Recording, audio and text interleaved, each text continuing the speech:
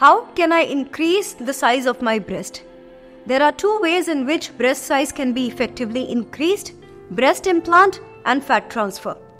Breast implant is a very rewarding surgery. Here you can choose the shape and size of the implant you want, or the surgeon can choose the implant based on your body type and profile.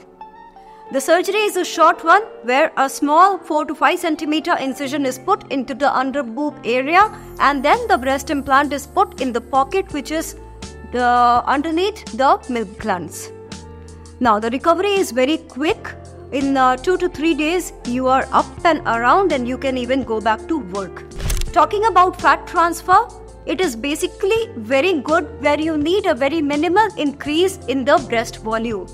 Now why minimal because in order to achieve a bigger size while doing fat transfer you may need 2 to 3 sessions which is uh, as compared to breast implant which is only one session there can also be complications of fat cyst or uh, fat globules forming in the breast sometimes after the fat transfer surgery.